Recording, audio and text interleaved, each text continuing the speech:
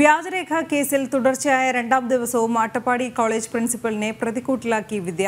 പ്രിൻസിപ്പലും വനിത അധ്യാപക സംഘടനയും ഗൂഢാലോചന നടത്തിയെന്ന് എസ് എഫ് ഐ നേതാവ് കൂടിയായ വിദ്യ ഒളിവ് ജീവിതത്തിനിടെ സുഹൃത്തിനൊപ്പം എടുത്ത സെൽഫിയാണ് പോലീസിനെ വിദ്യയിലേക്ക് എത്തിച്ചത്.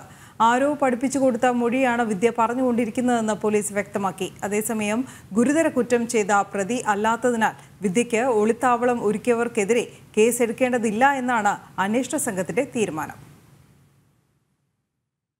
വ്യാജരേഖ കേസിൽ മുൻ എസ് എഫ് ഐ നേതാവ് വിദ്യയെ പോലീസ് ചോദ്യം ചെയ്യുന്നത് തുടരുമ്പോൾ ആരോ പഠിപ്പിച്ചു കൊടുത്തതുപോലെയാണ് വിദ്യ പോലീസിന് നൽകുന്ന മൊഴികൾ. പോലീസിനോട് ഇന്നും താൻ വ്യാജരേഖ ചമച്ചിട്ടില്ലെന്നും അട്ടപ്പാടി കോളേജിലെ പ്രിൻസിപ്പൽ ഗൂഢാലോചന നടത്തിയതാണെന്നും വിദ്യ ആവർത്തിച്ചു. മഹാരാജാസ് കോളേജിലെ അധ്യാപകരിൽ ചിലരുടെ പ്രേരണയിലാണ് പ്രിൻസിപ്പൽ താൻ വ്യാജരേഖ ചമച്ചുവെന്ന് പ്രചരിപ്പിച്ചത്. പ്രിൻസിപ്പലിനോട് കൂടുതൽ കാര്യങ്ങൾ ചോദിച്ചാൽ തനിക്കെതിരായ ഗൂഢാലോചന പുറത്താവുമെന്നും വിദ്യ പറഞ്ഞു. അട്ടപ്പാടിയിലെ വിവാദത്തിന് പിന്നാലെ കരിന്തളത്തും താൻ വ്യാജരേഖ സമർപ്പിച്ചുവെന്ന് ബോധപൂർവം പ്രചരിപ്പിച്ചു. നോട്ടീസ് ലഭിച്ചിരുന്നുവെങ്കിൽ താൻ നേരിട്ട് അന്വേഷണ സംഘത്തിന് മുന്നിൽ ഹാജരാവുമായിരുന്നു. ആരോടും സംസാരിക്കാനുള്ള മാനസികാവസ്ഥ അല്ലാത്തതിനാലാണ് ഫോണുകൾ സ്വിച്ച് ഓഫ് ആക്കിയത്. സുഹൃത്തുക്കളായ എസ് എഫ് ഐ പ്രവർത്തകർ നൽകിയ പിന്തുണയാണ് തന്നെയും കുടുംബത്തെയും തകർന്നുപോയ സാഹചര്യത്തിൽ നിലനിർത്തിയതെന്നും വിദ്യ ചോദ്യം ചെയ്യലിൽ പറഞ്ഞു.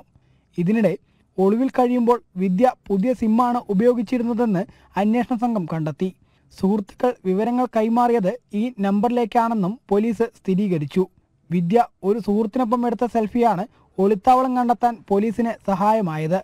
എന്നാൽ വിദ്യയെ ഒളിവിൽ താമസിപ്പിച്ചവർക്കെതിരെ കേസെടുക്കില്ലെന്നാണ് പോലീസ് പറയുന്നത്.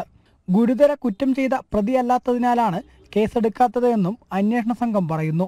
നേരത്തെ വിദ്യയെ അട്ടപ്പാടി കോളേജിലേക്ക് കാറിലെത്തിച്ച വ്യക്തിയെക്കുറിച്ചും പോലീസ് കൂടുതൽ അന്വേഷണമൊന്നും നടത്തിയിരുന്നില്ല. അന്നും സമാന രീതിയിലായിരുന്നു പോലീസിന്റെ പ്രതികരണം. അതേസമയം കേസിൽ ഇന്ന് വൈകിട്ടോടെ അട്ടപ്പാടി കോളേജ് പ്രിൻസിപ്പലിന്റെ മൊഴി പോലീസ് രേഖപ്പെടുത്തും. ജനം പാലക്കാട്.